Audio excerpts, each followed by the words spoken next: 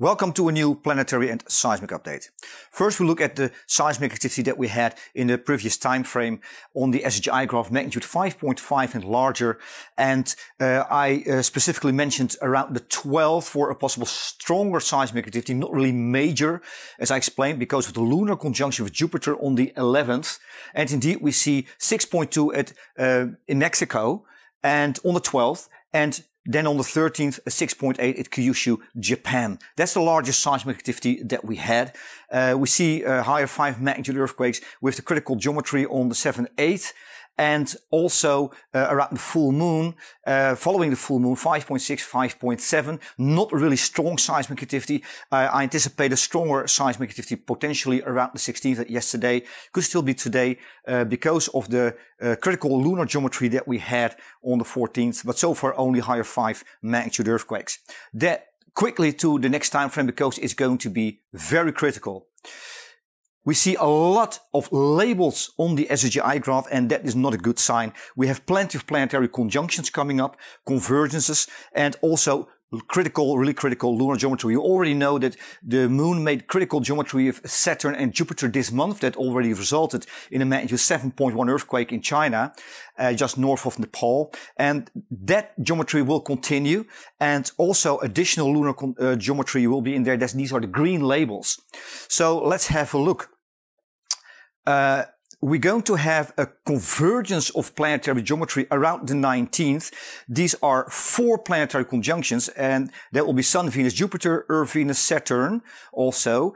Um, then Mercury, Venus, Jupiter as well. And then uh, on the 20th, Mercury, Sun, Jupiter. And if we look at the solar system, we, this is because Mercury, the Sun, Venus and Jupiter will be in one line. And then we have a near quadruple conjunction and that explains the convergence of planetary conjunctions right there. But we have more coming up. We also have Earth, Venus, Saturn uh, in a conjunction coming up. And more critically, uh, Mercury, Earth, Mars. And that is associated with major earthquakes around 7.8 magnitude easily. And that is a potential in the coming time frame. Not necessarily after the convergence on the 19th, because we're going to have a more critical convergence uh, around the 24th. That's where Mercury, Earth and Mars are actually going to be. Uh, and that brings us to uh, that time frame around the 23rd, 24th. But we see also the lunar geometry that precedes that on the 20th and 21st. Um, because Mercury, Earth, and Mars will be in a line, there's going to be critical lunar geometry with Mercury and Mars as well. That's 90 degrees uh, geometry, and that will be on the 21st um, 20th, 21st, and that will converge with uh, semi-right angle geometry again with uh, Saturn and with Jupiter. That's critical. So uh, in that time frame, I expect more seismic activity, higher five magnitude, six magnitude earthquakes, probably above average, uh, the typical clustering. We're going to uh, see what's, what will happen. And then, uh, like I said, around 23rd, 24th is going to be a convergence, really critical convergence of planetary and lunar geometry, primarily planetary geometry. Um, that's Mercury, Sun, Venus that usually results in some stronger seismic activity, uh, but nothing major. Uh, then it co converges with Venus, Mercury, Neptune in a right angle and Mercury, Venus, Neptune in a right angle. And we already know that the semi-right angle geometry earlier with those uh, with uh, with those planets resulted in stronger seismic activity. You may want to look up the previous updates. And uh, this is a lot of a lot uh, what's coming up here actually.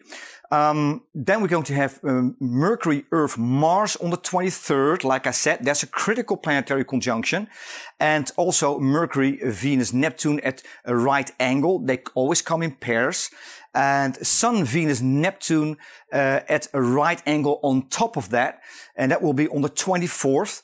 It's all right there. And then we address the lunar geometry. And that will be with Uranus, a conjunction with the Uranus uh, on the 23rd. I could say opposition, but we uh, typically call it a lunar conjunction. And then, most importantly, Moon, Earth, Jupiter early on the 25th. And if we count about two, three days from that lunar conjunction with Jupiter, we end up around the 27th. That could be the time frame of the largest seismic response due to this uh, critical planetary geometry that we're going to have in this coming time frame. Um, I want to stress here that it has been two years since a magnitude 7.8 or larger earthquake occurred, while on average they occur about two, maybe three times a year. We're definitely due. If you look at magnitude 8 and larger earthquakes, it's been three and a half years. The last time was, yes, in August 2021. And on average, they occur about every year, once every year. So it seems like we're definitely due for some major seismic activity, and this time frame could very well be the time for such a large earthquake. Um, it could already be uh, following the geometry uh, uh on the 19th. There's the convergence there, but I think that the, lar- the, the most critical geometry uh, will be the convergence on the 23rd and 24th, also because there is there right angle geometry with Venus and Mercury involved, and um, I think that the large size response is probably going to be following uh, the geometry on 23, 24 and 25 January. If we look at the atmospheric anomalies that we recorded this month so far, uh, it marks the Eastern Africa. There can be large earthquakes. There's volcanic activity in Ethiopia right now with uh, moderate seismic activity.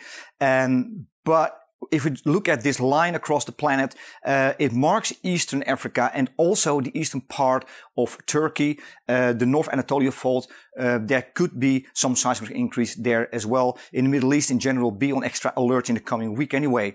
Uh, that anomaly was on the 2nd of January. And also, uh, if you look at the Pacific, Alaska, there could be larger seismic activity uh, that could affect uh, Anchorage and some areas. So on the 4th, that is a really important one. It marks Southern California and the west coast of North America. Um, Southern California is due definitely, if you look at a lar- high seven magnitude earthquakes, the last time that that happened was in the 19th century. If we look at central and southern California in particular, near Los Angeles, uh, be on extra alert in the coming week.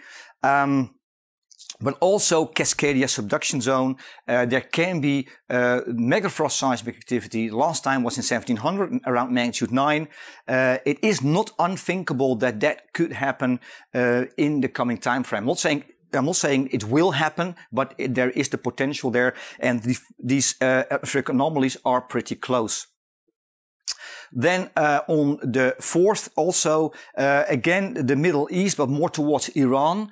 Uh, Iran can have six, maybe even seven magnitude earthquakes from time to time. Uh, it doesn't very, happen very often, but if you are in Iran, be on extra alert as well.